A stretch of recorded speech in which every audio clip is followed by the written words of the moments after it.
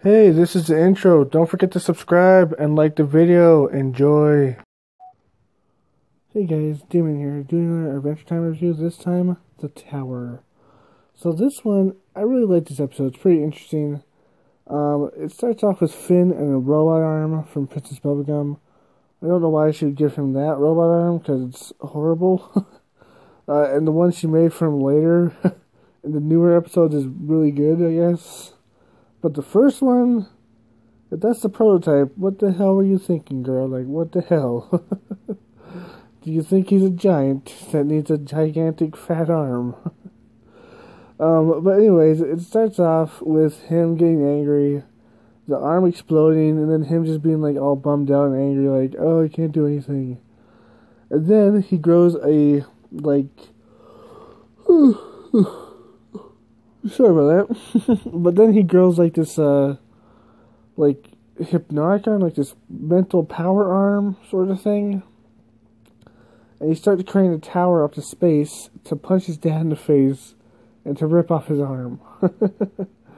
and he sings a song all, the whole way up there. Um, and Princess Bubblegum's like, this is not safe, this is dangerous, he's gonna hurt himself, he's gonna hurt other people. And in the end, he didn't end up hurting himself, but he did end up hurting Princess Bubblegum uh, by hurting her arm. Although she's made out of candy, so she can just like put it back on and it will be fine. so he didn't really hurt anybody, I guess.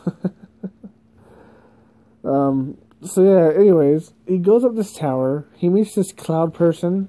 In the end, the cloud person's just like, I don't know, man, that's not what you should do. You should just like move on with your life, sort of thing.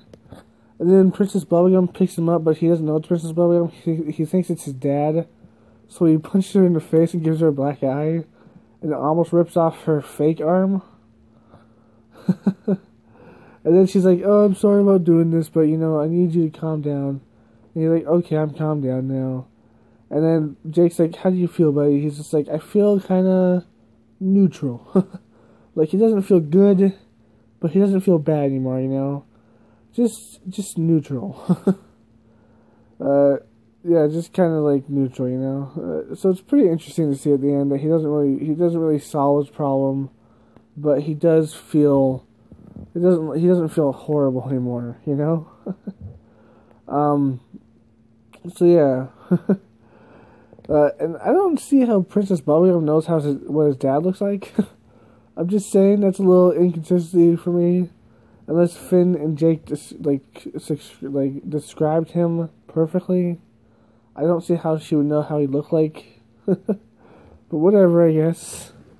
Um, and you could say like, oh, she has technology to see what Finn would look like in the future, but how does she know what his hairstyle would be and plus his clothing?